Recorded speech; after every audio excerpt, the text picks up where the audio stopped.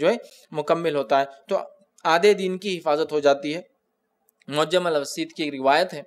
نبی اکرم صلی اللہ علیہ وسلم فرما رکھا جس شخص کو اللہ تعالیٰ نیک جو ہے بیوی عطا کرے، گویا اللہ نے اس کو آدھے دین میں مدد کر دی ہے۔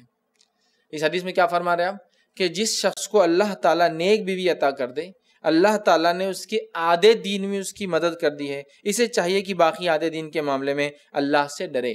اسے چاہیے باقی ہاف ریلیجن کے اندر اللہ سے ڈرے، ٹھیک ہے؟ تو یہاں دیکھیے شادی کو آدھا دین بتایا گیا اور اس کو نیک بیوی مل جائے تو اللہ نے اس کے آدھے دین کی حفاظت بھی کر دی۔ سمجھ رہا تو نکاح آدھا دین ہے اور نیک بیوی ملنا اللہ تعالیٰ کی طرف سے آدھے دین میں مدد ہے۔ نیک شوہر ملنا اللہ تعالیٰ کی طرف سے آدھے دین میں مدد ہے۔ اور آپ صلی اللہ علیہ وسلم فرما رہے اب انسان کے لیے ضروری ہے باقی آدھے کی وہ فکر کرے۔ باقی ہاف کی وہ فکر کرے۔ تو یہاں آپ دیکھیے کتنی اہم چیز ہے اور شیطان نے یہی زبردست چوٹ لگائی ہم مسلمانوں کو۔